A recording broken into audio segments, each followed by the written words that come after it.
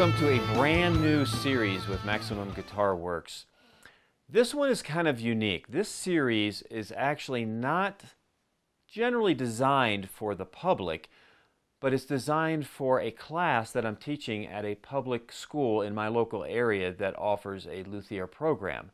And I was asked to teach a basic electric guitar building class this year. So this video series is primarily for my students of that class, but I decided to make it available to everybody and hopefully other people out in YouTube world can get something out of this. But I will be dealing with the basic knowledge of electric guitar making, like you're building your very first guitar. So if you're on your 12th guitar, there may not be as much content for you in this video, but it's starting at ground level. Now, also, I have some tools in my personal shop that the school does not have in their shop.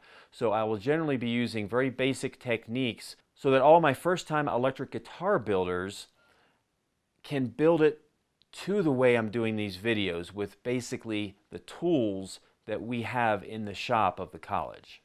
One of the requirements of this course that I'm making for these first time guitar builders is they have to build a Stratocaster or a Telecaster. If we can keep it focused to those two basic foundational guitars, I honestly believe that my students will get a better education working foundation up. And then those basic foundational principles can be used for advanced guitar design techniques in the future. And hopefully, uh, they'll choose to participate in the next semester where I teach an advanced electric guitar building class, and that will involve a lot more things like carved tops, set necks, uh, stainless steel frets, so on and so forth, maybe some advanced electronics uh, configurations and things like that.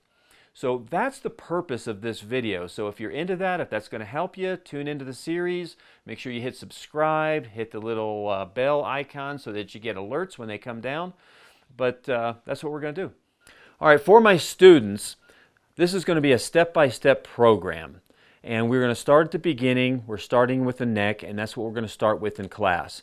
I have included in your online materials basically a little note-taking worksheet, and it kind of goes over the steps that we're going to go in the order that they're going to that we're going to do them in, and it gives space for you to kind of draw diagrams, take notes, and things like that, so that you can repeat this process on your own in the future should you want to. So that's what we're going to base it on. And the first step of this is to mill the neck blank flat and square. So that's our first step that we're going to cover.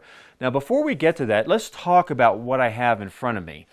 What we're doing in the class in order to save time, rather than designing a guitar from scratch and taking multiple weeks in order to kind of develop it, tweak it, and make templates and such like that, we're going to be providing the templates we have com multiple complete sets of templates for the Stratocaster and the Telecaster.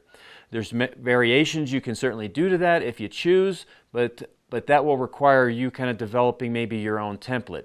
So in this case, here's a traditional Telecaster template. And in this video series, we are going to build the Telecaster. And in class, what I'm going to do is build the Stratocaster. So what you'll see is your homework assignment will be to watch this video before the class that we work on that step and then come to class, bring your questions, do a little Q&A, and then I'm going to do another demonstration in class building the Stratocaster and the slight variations between those two instruments. So what we're looking at here is the basic template. Now, because I generally build only custom guitars, and uh, I, I, really don't build copies of strats and tellies as, as a normal protocol unless somebody would request it. I have my own headstock template and I've made another template with my headstock on it, but everything else is exactly Telecaster on here. And so I'm going to use my Maximum Guitar Works uh, headstock shape on this, but everything else is exactly the same. We've also got templates for the fretboard itself, and that kind of gives us uh, the ability to place markers. I've got alignment pin holes that is going to allow perfect placement on top of the neck when we're ready to glue those together. I've also got a side view, which isn't always necessary, but I think in our case, in the way we're going to shape out the uh, the top of the headstock here in the traditional fender manner, I think it'd be nice to be able to have that drawn and then connect some of the areas across the front so that we, we, we know where our stop points are, especially when we're taking this curve out and sanding that uh, down to spec. So we have that to use just in case uh, it becomes handy. And then for the fretboard itself, uh, we've got a template that's used on a table saw and with this template we can cut all the fret slots at 25.5 inch scale all the way up to 22 frets which is what we're going to use for the Stratocaster. Uh, Telecaster uh, traditionally has 21 frets. Now with that said if you want to build a Telecaster body and more of a Stratocaster style neck to it, we can combine those techniques and we can talk about that in class on how to do that. So there's not an issue at all with that.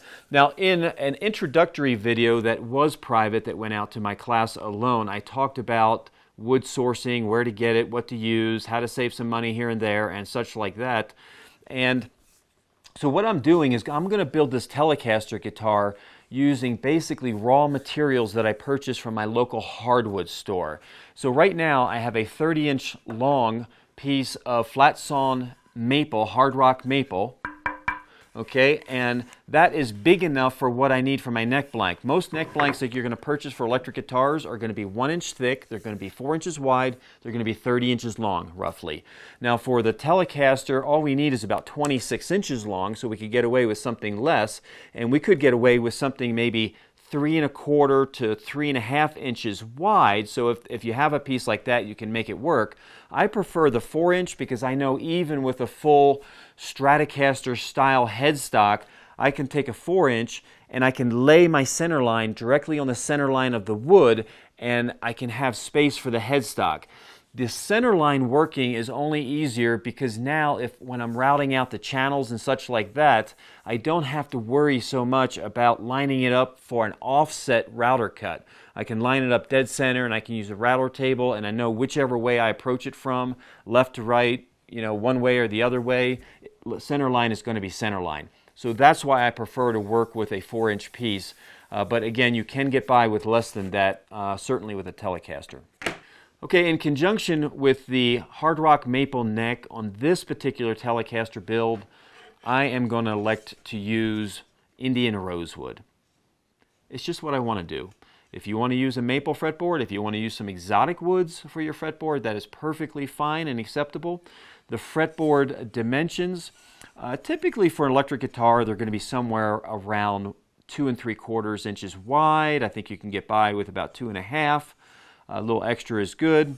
It's going to be about 20 inches long, roughly, and, and that certainly gives you more than enough. And the thickness of the boards that you'll find if you buy a fretboard blank, which I highly encourage because this is wood that is pre-screened, you know, basically for the quality that needs to be for a fretboard, what you're going to find is somewhere between a quarter inches thick and 5 sixteenths of an inch thick anywhere in between there is fine. I prefer the 5 16ths and I source my materials from companies that provide that because it gives me room for error. It gives me a little extra cushion when I'm doing my radiusing so I don't get the edges of the board too thin and then I don't have appropriate room for the side dot markers and other things like that. So I prefer that even though ultimately this is going to be a little thinner than 5 16ths. It's probably going to be close to about 7 millimeters. You'll hear me jumping back and forth between the metric system and you know the standard um, inches based system and that's because you have to be able to jump back and forth between both for various reasons. So so that's what's going to happen with this fretboard. So the first step that we are going to do is we are going to square and thickness this piece of board to be exactly what I want it to be.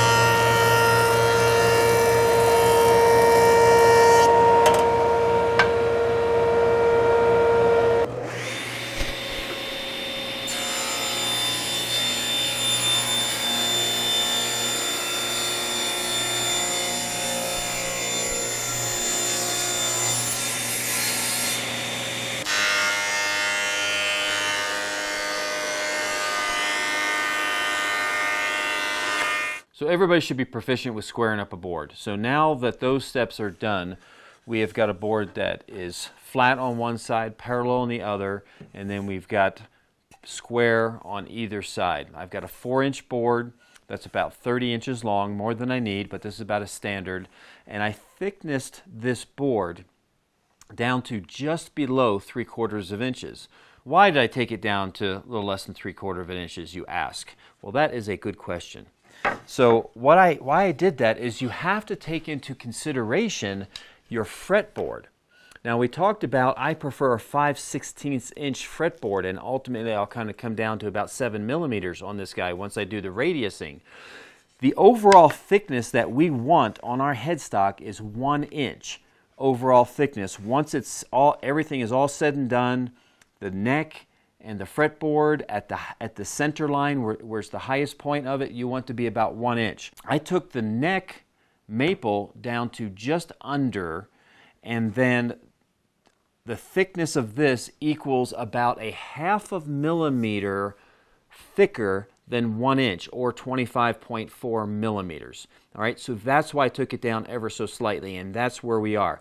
Once we get to this stage, I want to establish center lines on this board and try to figure out the layout of the template itself. So what I'm going to determine is number one, what is going to be the top and what is going to be the back. I'm looking for imperfections. I've got a minor imperfection of this piece of maple that I picked up at the local hardwood store up here. So I know that I can work with that because I've got the extra room. I can slide back this way or I can just make sure my headstock is on this end so where the headstock slopes off the, perfect, the imperfection will be cut out. So that's all we want to do. So this is going to be my top. So I wrote top on there so I don't get confused later. And just for perspective, I want to determine where I want my nut line to be. Now I have a little bit of snipe on the back end here from the planer, so I'll stay clear of that. So I think about this position will look good. My nut will end up being right about here. I've got plenty of room to flex, so I'm not getting super critical. And now I will take the side profile template just so that I keep my orientation correctly and know what ultimately I'm going to do. The back of the headstock will be flush with the back of this material. There'll be no material removed there. You can clamp it in place if you need, but this, this is not anything I'm cutting to, so it's not going to be super critical, but I want to know approximately where my lines are going to be. All right, so now once we get that on there, I'm going to establish the center line of this board. One tool you can use is a center finding rule, and that basically just allows you to look and get the same number on either side. I know this is a 4 inch board, so if I line up the 2 inch mark on both sides, which is perfectly lined up, and I go to the center with a sharp ruler or a mechanical pencil, I've got that perfectly annotated, and I'll come back and I'll do the other side. A nice long precision ground straight edge will then connect those dots and that will become my reference for drawing my template on here.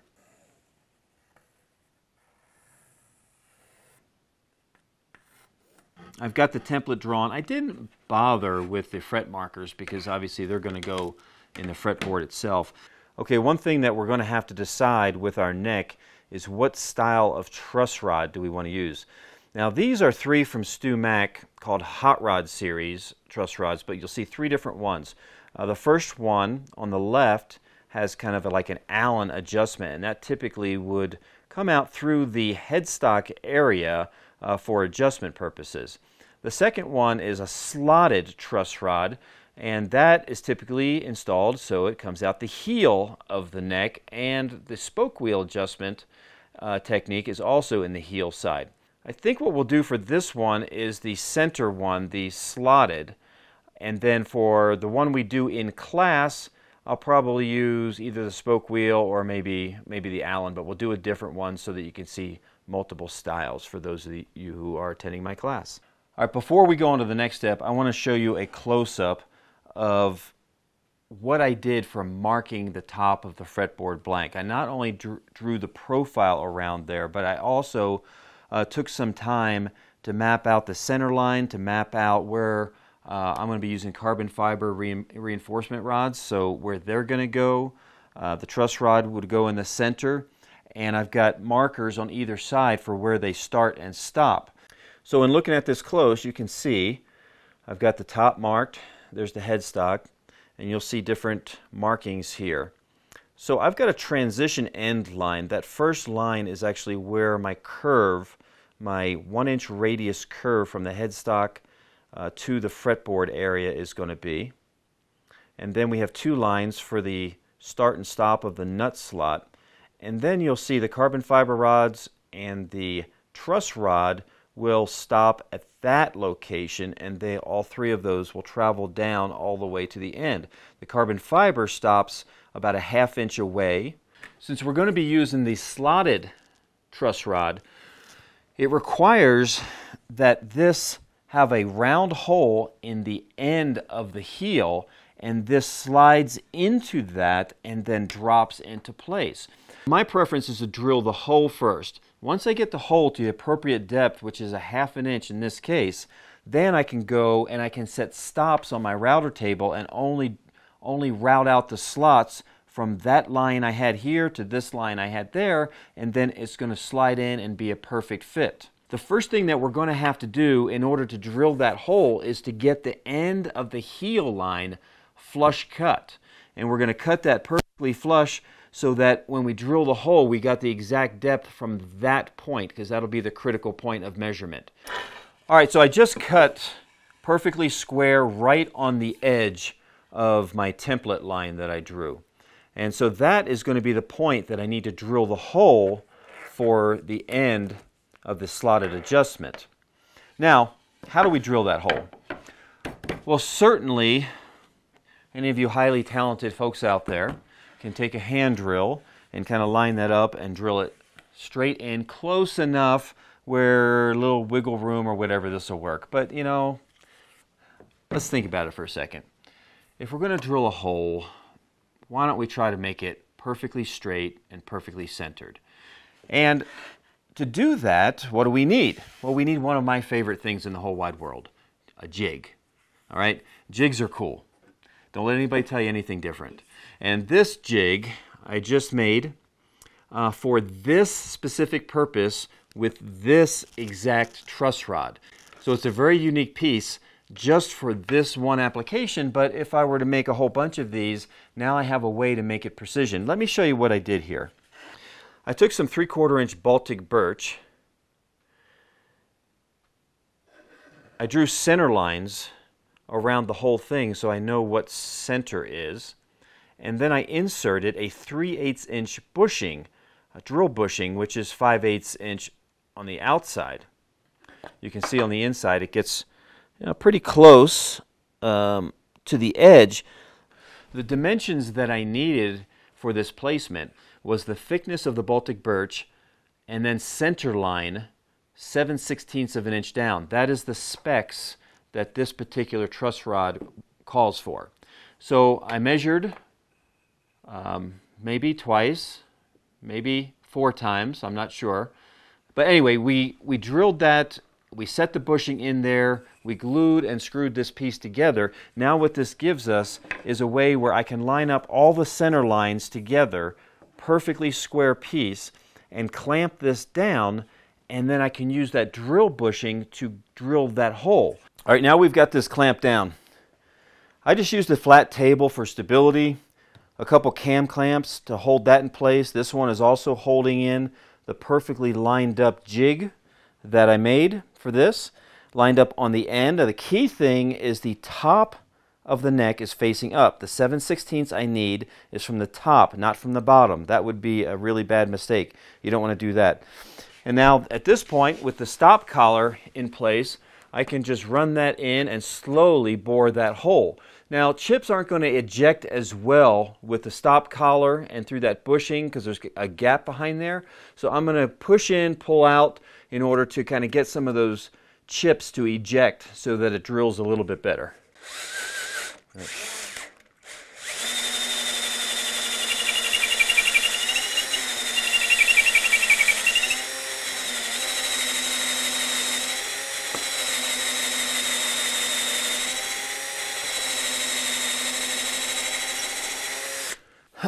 the last thing we need to do before we take this to the router to route our truss rod and carbon fiber channels is to make space. Since we're not cutting all the way through and this is just going to stick out the end, we need a hole here that that can drop through and then begin to slide in. So really, I'm going to need about that much room to drop in. So that's about a half an inch. So I'm going to make a half inch hole with a half inch Forstner bit so that this guy can drop in and then as it starts working through the hole has enough to drop down into the slot and then slide back into position.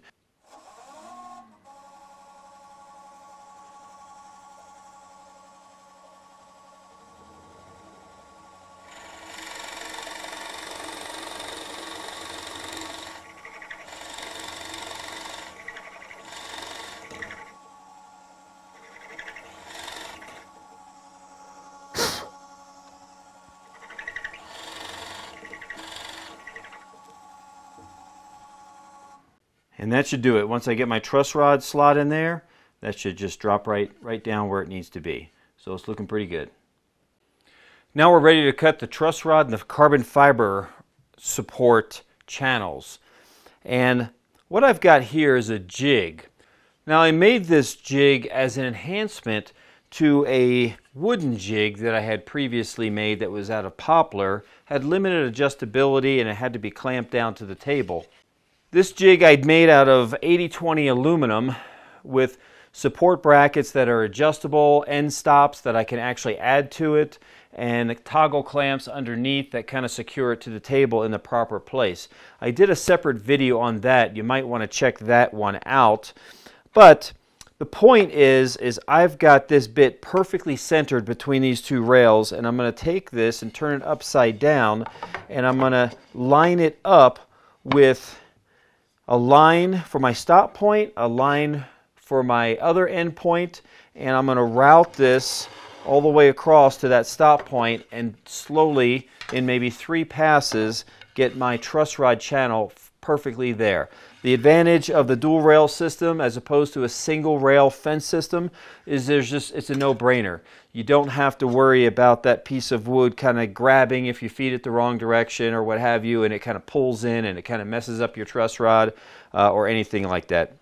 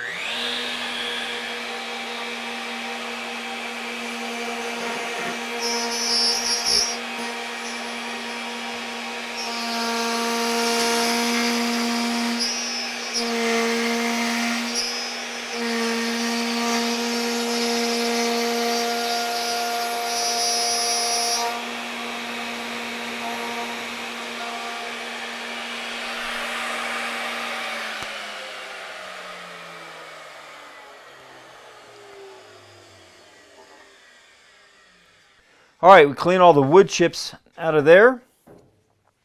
And now we take the truss rod with the slotted head part down and we will slide that right in. It's going to be a tight fit. We got to get it in there. We'll just give it a, a little bit of tapping.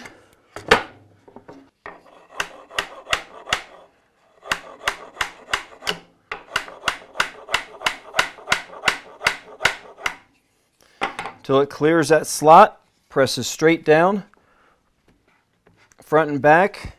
You should have clearance where it should be perfectly flush and smooth. And,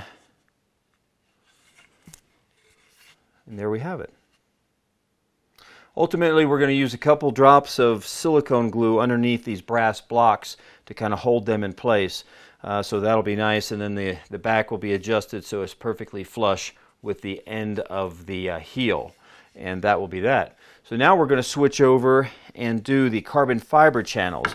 Now we are going to do some test cuts. It's always good to have a block of extra wood lying around that's the exact same width as your neck and you can do test cuts to make sure that you have the right placement and the right depth and that's what we're going to do and then make our cuts.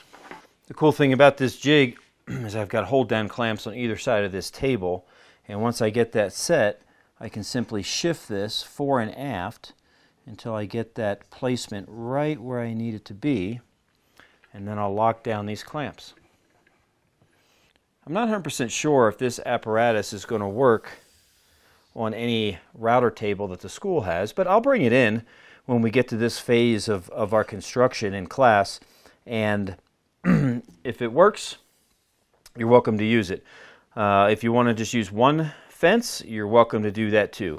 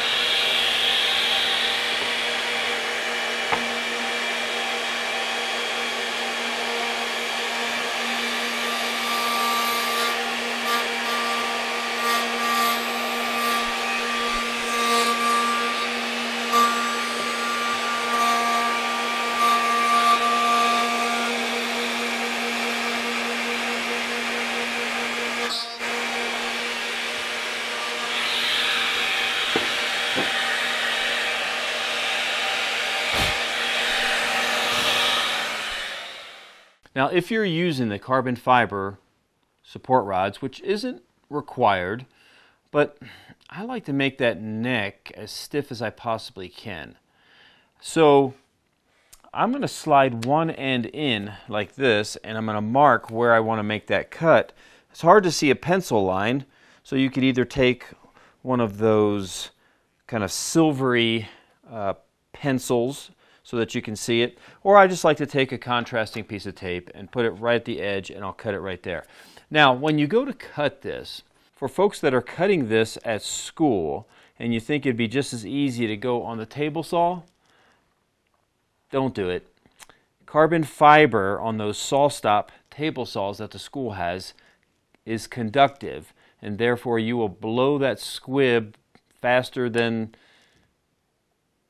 I don't know faster than something, but really fast. So don't do that. And in fact, if you go to use a chop saw or any other type of carbide tooth blade, the carbon fiber will begin to dull that blade more so than cutting through wood. So it's not really worth it for such a small piece.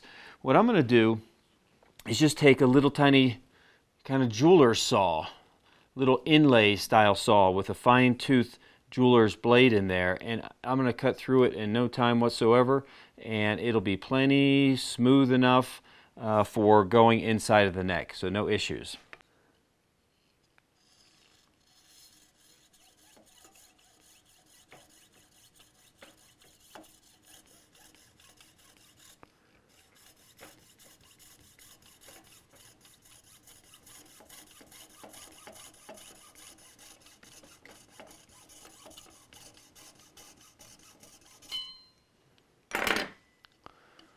Hmm. Don't you love the smell of cutting resin? Kind of reminds me of uh, a skateboard I had in the 70s. What I haven't figured out is what to do with all these extra short pieces. If you have an idea, let me know. So these will just slide in and drop down. And once we take the old epoxy and glue those babies in there, this just became a stiffer neck. That's simple. Well worth the effort. And then obviously the truss rod for the adjustability of the neck. I'm going to epoxy these carbon rods into place now and I'm going to let it cure properly. In the next class video, we're going to continue the process of this fender style neck. So remember, until that next video, anything you do, start with excellence.